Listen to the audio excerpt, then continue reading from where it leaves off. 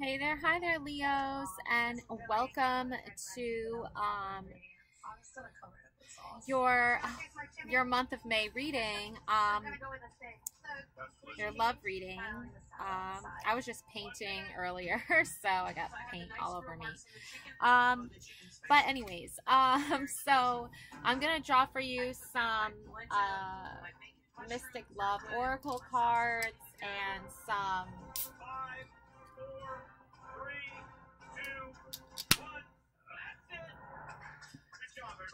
uh, some witches tarot cards and some uh, synchronicity cards for your past, present, future.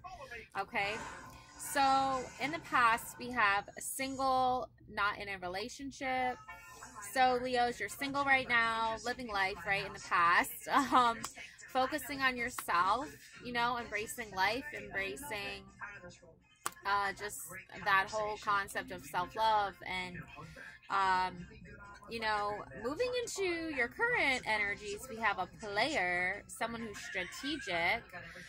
So I'm not sure what's going on there with that, but I hope you're not leaving the single life behind for a player because trust me, being single is way better than being with a player. So maybe you're just being strategic um, when it comes to choosing who you want to be with.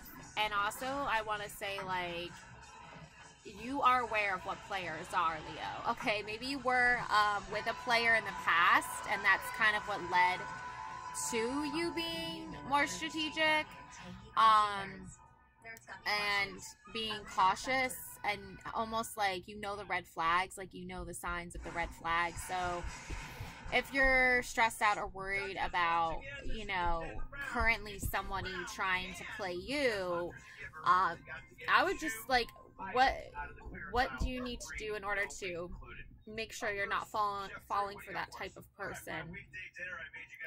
And the future answer for that is peace again i feel like it's you choosing yourself and peace and happiness over the energies of a of a player of someone who is like I guess just doesn't want to be around you. So, but they want to, you know, they don't want to spend time with you, but they do want something from you. So, um, right, we know what that's all about uh, with these players, Leo. But there's like this circle around you, right, of peace and harmony and finding balance within the chaos. Because you can see here, she's in this beautiful, like, almost like a, a wall protecting her from the ocean waves and she's just chilling on the calm waters. So you know that there's a lot of emotional turmoil and upheaval uh, going on around you, uh, Leos, but you aren't going to be stressed, okay, about that. Um, I'm stuck on the steak. I think the garlic you know, it's kind of interesting how, you know, people will send you these like vibes that like oh don't be single leo. let me amuse you. let me use you right? If they're a player. you know, I need your vote, or, you know, in a game, right? Or, you know, I just need something from you, right? It's not emotional. It's not tied to anything that has to do with the heart and thinking with your heart. It has to do with thinking only about your own plan for like survival or your own plan to win at something. It's like, when do we just stop thinking about that? Because not everything is a game, right? And we just start thinking about building those connections with people that are meaningful and long lasting. Um, so I think you know fully about this, Leos. So that's bringing you like a sense of peace and clarity. Now, um, for your Witches Tarot, let's see what we have for your Witches Tarot.